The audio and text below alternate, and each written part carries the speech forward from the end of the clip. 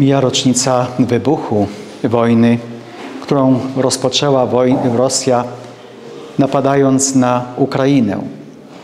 W tym roku doświadczyliśmy wiele cierpienia, wiele smutku.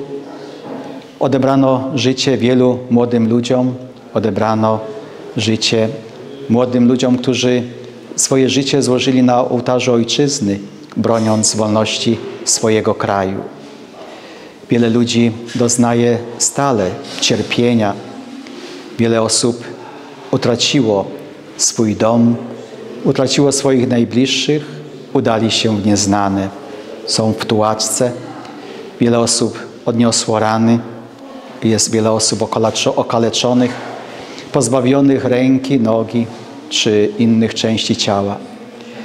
Ale są także ludzie dobrej woli, którzy spieszą z tą pomocą. Wśród nich są rycerze Kolumba. Są nasi współbracia w Polsce, są nasi bracia rycerze w Ameryce, w Stanach Zjednoczonych, którzy każdego dnia niosą swoją pomoc poprzez modlitwę, ale także poprzez pomoc humanitarną. Tę pomoc okazał nam także najwyższy rycerz, pan Patryk Kelly, który przybył na Ukrainę dwa razy, aby dotknąć tej krwawiącej ziemi, aby zobaczyć to cierpienie, aby podać rękę umęczonemu narodowi. Jesteśmy mu za to bardzo wdzięczni.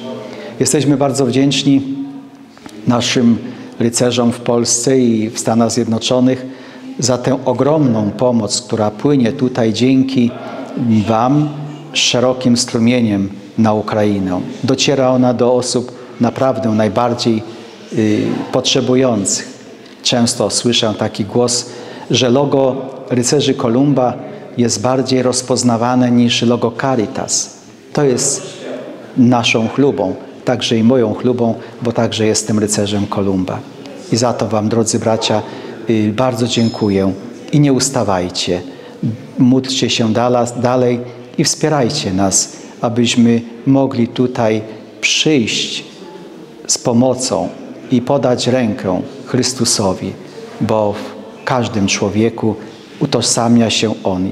Cokolwiek zrobiliście drugiemu mieście uczynili. Wiwat Jezus.